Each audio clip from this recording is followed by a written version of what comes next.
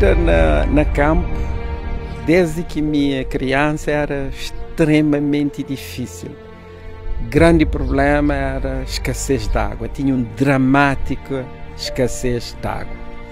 Então, quando no assume governo, nossa grande prioridade foi mobilizar água para tudo Simbrão, tudo cristão tem direito a ser gota d'água.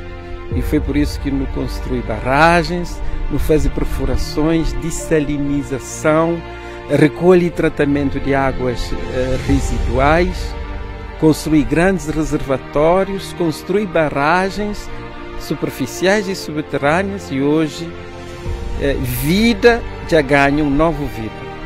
E agricultores na campo, sata todo dia alarga áreas irrigadas, nos sata produz quase tudo para ajudar famílias e para criar empregos e para ajudar a crescer e desenvolver Cabo Verde.